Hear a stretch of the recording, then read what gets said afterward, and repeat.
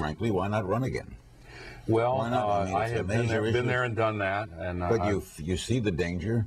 You're well ahead of the population in it, obviously. well, I don't expect to be a candidate again, and uh, I, I, I, uh, have you thought about I it? don't have plans to be a candidate again. I haven't made the so-called Sherman statement, but that's not to leave the door open. It's more sort of an internal shifting of the gears. I really don't expect to be a candidate again. I think that my uh, the best use of my skills and experiences and energy is to try to change the minds of the American people, and to the extent that I can, uh, people elsewhere in the world.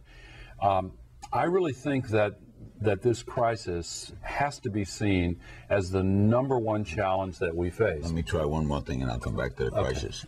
If there were a convention and it were deadlocked, that doesn't happen anymore. and they came to you, it could happen. No. And they came to you. No, no, no. But you're not saying there's no circumstance. Well, as I said, I haven't made a Sherman statement, but I'm not trying to be coy about it, and it, it really that really doesn't happen anymore. And believe me, I understand that it doesn't. And uh, you will, if you were a political reporter and you went to Iowa, New Hampshire, anywhere else in the country, you would look in vain for anyone who had been contacted by me or anyone on my behalf. I'm really not uh, taking any steps. I have no intention, no plans to do that again.